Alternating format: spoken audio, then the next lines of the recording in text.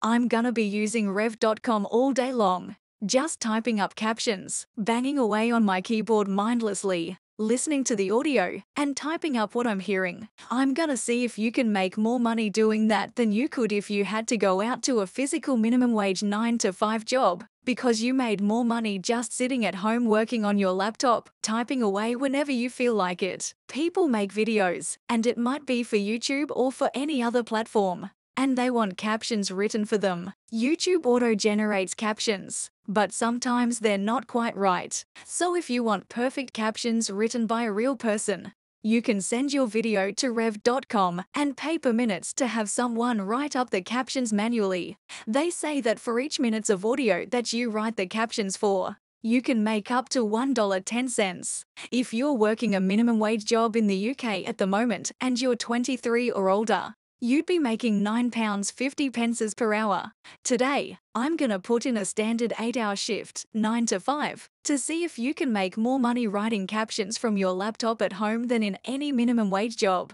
It's just about to turn 9 am, so let's head over to the computer. About two months ago, I signed up for Rev.com. I had to do this like half hour long sign up test where they gave me some sample audio and I typed up the captions, and they decided if I was a good enough human being with English skills. They accepted me, but they said there's going to be a super long waiting list. So I've only just been accepted two months after that sign up thing. Once they gave me my account, I went through the onboarding process where you have to read this super long, ridiculously long style guide showing you how to write captions exactly how they want you to write them. I've just spent the last 30 minutes fully comprehensively reading the style guide, and it's 17 pages in volume 6. Like 17 A4 pages of info took me 30 minutes to go through and properly digest it. After I'd got the hang of how Rev.com wanted me to write captions, I had to prove that I hadn't just skipped through the style guide. I wrote the captions for three specific videos. The first job was a bit of a grind. I'm trying out this side hustle because I'm trying to get out of debt and then become a millionaire as fast as possible. So make sure to subscribe to help me get a little bit closer to that goal. I've just completed the first job. It took 30 solid minutes of focused work. I got paid, but I did not get paid a lot, only 98 cents. 30 minutes to earn just under $1. So far, the minimum wage job is winning. I'm actually gonna start a timer. The second of the two training jobs I had to do was for 48 cents. The first one took half an hour, so I was hoping that I could do this one quite a bit faster. Just been smashing it out as fast as I can. And it's been 10 minutes, 45 seconds so far. So I've written out all the captions, and then I still have to sync them up with the videos. I'm not done yet. 20 minutes to get 50 cents. These two training jobs ended up taking me a total of 50 minutes. And that was on top of spending half an hour already reading through that style guide. So I was now really eating into my 9 to 5 shift. I can't say for sure just yet, but it's kind of seeming like Rev.com is a bit like super cheap labor. They're just wanting people to work for super low wages. Now that I was done with all the training, I could choose which videos I wanted to write the captions for. Basically, I just wanted to start out with a video that was just a minute or two long so that I could be sure that I could finish it before the deadline. Because if I didn't, I'd get a big black mark on my Rev.com account, and I might get kicked off the platform, which would just be a disaster.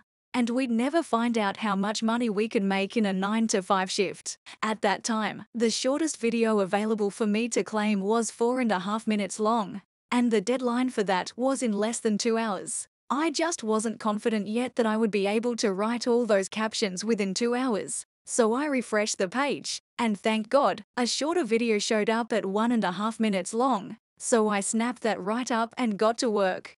Just had to unclaim a job that I started because it was someone singing. And it was their own song lyrics. And it was not very clear what they were saying, but I just cracked on and started on another job. We've got to make that cheddar. Oh man, there were three people talking at the same time. It was really hard to caption. Yeah, not worth the 50 cents or whatever per minutes. We're gonna try and find one where there's just one person speaking. Here we go.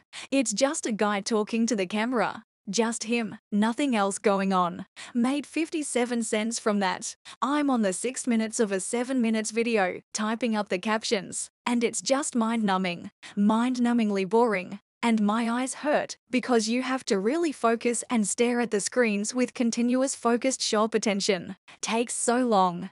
I mean, even if it paid minimum wage, which it isn't doing, it would be worth it. Just finished a job that was doing captions for a 7 minutes video. And that was a slog. Took an hour 25 for $3.85. How is anyone doing this? Like, when? What? I guess in some countries, $3 an hour would be feasible.